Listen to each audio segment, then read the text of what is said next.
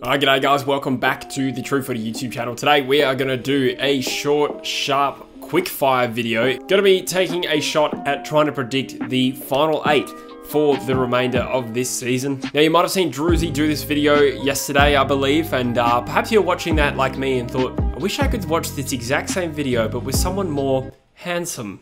Well, unfortunately, my roommate Dylan was busy, so today I'm going to be taking you through my final eight prediction. So this video is meant to be just taken as a bit of fun going through this Squiggle Predictor. I've done this a bunch of times this year. I enjoy doing it, but we can sort of take a look at all the different sort of combinations. And, and the thing is that the equation changes constantly because there's upsets every week. So me doing this now is completely different to what it was like in the middle of the season. So we're just going to run through game by game, not doing too much analysis and just seeing what finals combination it spits out at the end. And then, you know what, for some fun, I'll go through the finals as well. As always, invite you to subscribe to the channel if you haven't already. And do go check out my good friend Druzy's video on this exact same topic as well on his channel. Let's get into Squiggle. Alright, so first of all, it's going to take us obviously to the current ladder up the top right there.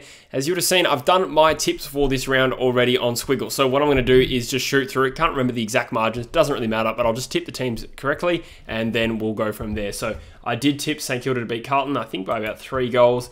Bulldogs to beat Adelaide, or surely that's a good 35 point win. North Melbourne versus Geelong, I tipped this would be a bit closer, and I think the Cats will win a tight game by 18 points. Gold Coast versus Melbourne, I can't remember where that that's been fixtures already, but it, it doesn't matter. I'm still tipping Melbourne by a couple of goals, four goals regardless.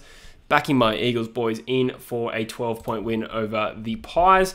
Essendon hosting Sydney, that's a tough one. That one, ah. That one's iffy. I, I feel like someone's going to upset Sydney. I don't know why. I just got a feeling for the rest of the season here, uh, as good as they are, someone will just nip their ego a little bit. Um, not that they have an ego, it's not what I'm saying. I'm just just got that stank about it. So you got.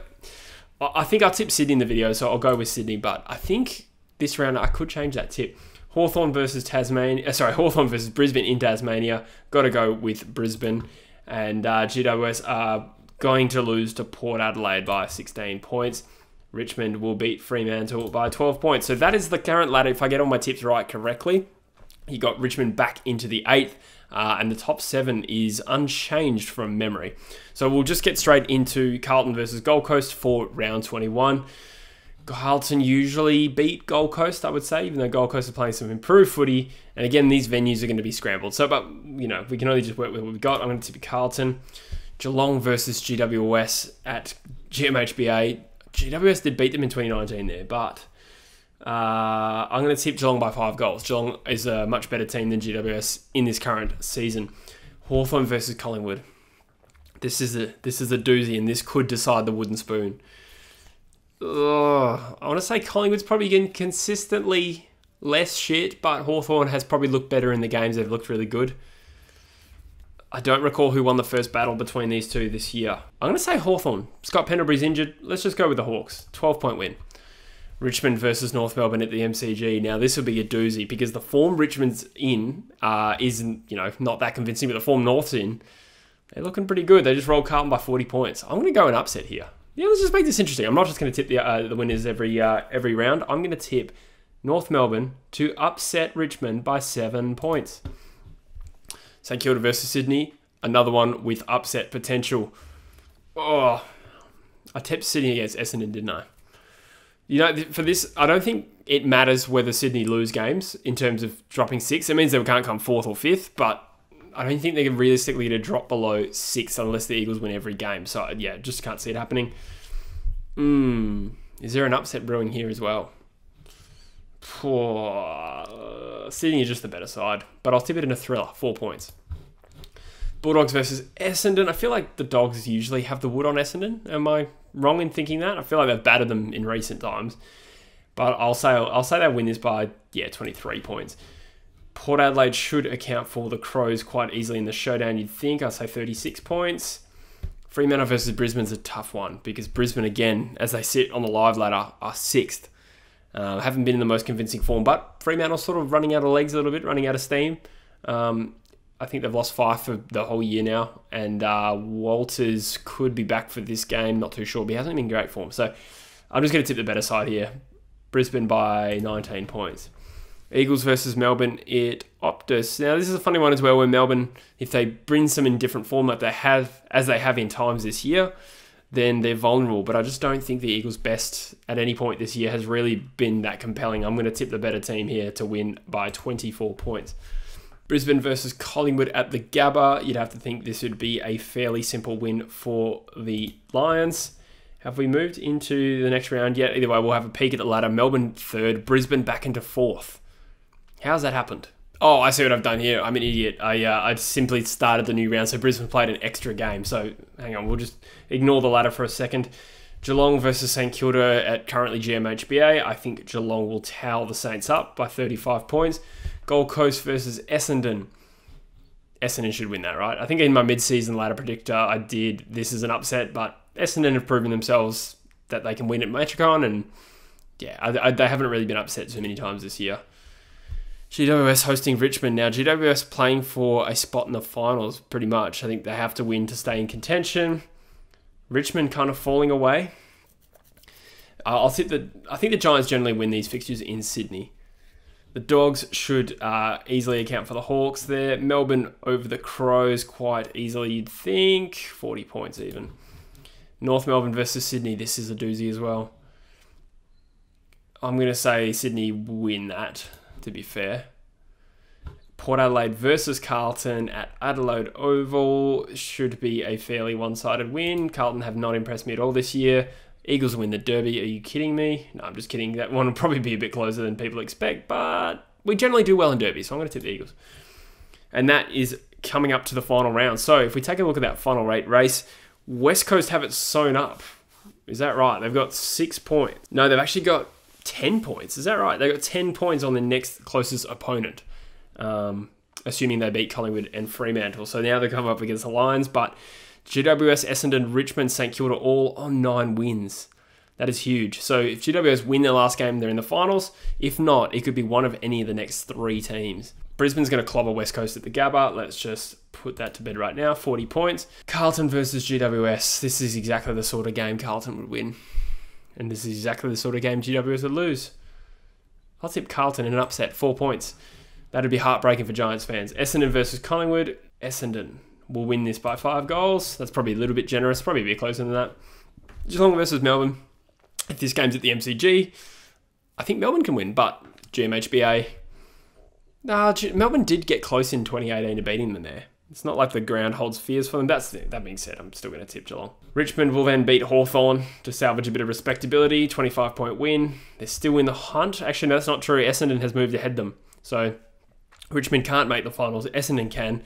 St Kilda winning this game might. I don't think it will be enough. I think if they win this game, which I think they would, they are still moving into 10th spot. So does that mean our final eight is wrapped up? I think it does. Sydney hosting Gold Coast. Well, Gold Coast they're kind of their bunnies, but uh, uh Sydney won't lose that for sure. 36 points. Bulldogs versus Port Adelaide. Ooh, so this is for top four. So that's interesting as well. This could literally shape Port and Brisbane's premiership chances because I think winning from fifth will be too hard to ask for either of them. I, I, think the Dogs would clap them, to be honest. I'll say oh, 22 points. I'm going pretty conservative on the margins, but Adelaide versus North Melbourne. Ooh, hang on. If North win this, does that mean they climb out of the bottom four? I'm, I'm tempted to tip them here. Adelaide haven't been horrible, but North are playing at a better standard. I'm going to say North win that. And they shoot. They literally shoot out of the bottom four. And Collingwood win the wooden spoon. Tell you what, there's one game that is bothering me though. I want to go back and I want to change this one. I'm going to say St Kilda upset Sydney to change the final eight. Oh, with Rowan Marshall back, I think St Kilda can do it. Is that that's cooked. Although it did leave the bizarre scenario where uh, Essendon would have qualified for the finals with just 10 wins. This is a weird season, man. The top eight race has been shite in terms of teams just not wanting eighth spot. Even West Coast in seventh there, 12 and 10. You missed the finals a lot with that record. I think I think Adelaide had 12 and 10 in 2018, and I know this because I did a video on it very very recently. They went 12 and 10 with 104% and finished 12th. West Coast, 12 and 10 for 97%, finished seventh. That's stupid. yeah, it hasn't been a great year for finals contenders. It looks like it's auto-filled a few of the uh, of the finals matchups for me here. Um, so that's very weird, but we'll scroll down to them now. Bulldogs versus Brisbane at the MCG. Bulldogs are clearly a better side, I think. Don't think the MCG is their true home ground. They did just beat the D's there, though. They'd beat the Lions there. Port Adelaide would beat St Kilda. Always a chance for an upset there, but I think they would win that. Sydney versus West Coast. Are you kidding me? Are you kidding me? Not even worth discussing that. Sydney would clobber West Coast. Uh, even if it's, I think if it was moved to like the MCG or something, which is possible for a final, uh, rather than GMHBA, I, I, they'd probably still play it at the G, uh, GMHBA, but yeah, no, Sydney will thrash the Eagles. Geelong versus Melbourne. Again, are we assuming this is at the MCG? Does there have to be two MCG finals in a round? Because that will sway my tip. I'm going to actually go the D's there. I think the D's are going to be red hot. All right, semi-final matchups. Geelong versus Sydney on the right there. Um, again, upset potential, but I can't possibly have Geelong out in tops in straight sets. So Geelong win at the MCG. Brisbane versus Port. Brisbane should win that at the Gabba.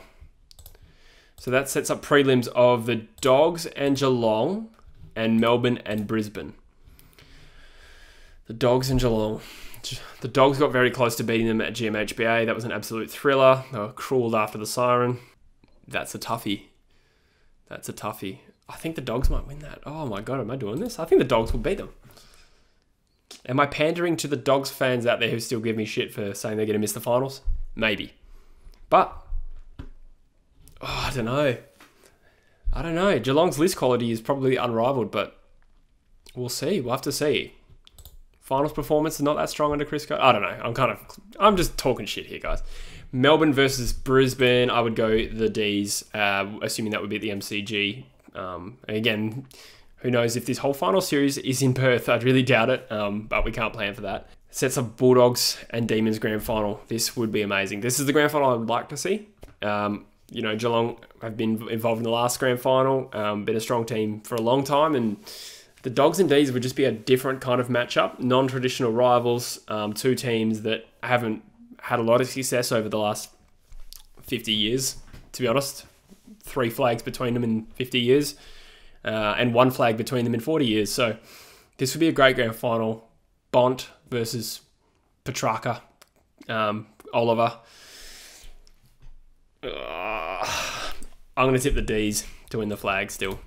Controversial, maybe. They're third at the moment, but I just think their brand of football has been best this year.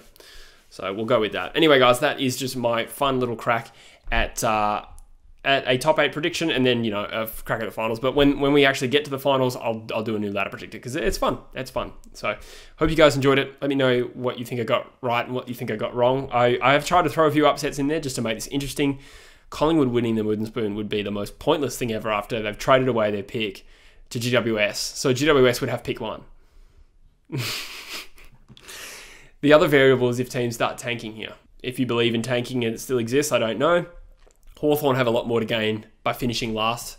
So when they play each other next week, you know, is that a factor? Do they throw around a few different matchups? Maybe. Jason Horne could be on the table for them, or he might end up at GWS. That's just insane. All right, guys, that's all I got for you today. Hope you're enjoying all the content at the moment. I do have a very special podcast coming out with Caden McDonald. Uh, I, I believe it'll be out Sunday. So um, join us for 81 minutes of goodness. Uh, thanks for watching, guys. Subscribe if you haven't already, and I'll see you in the next video. Cheers.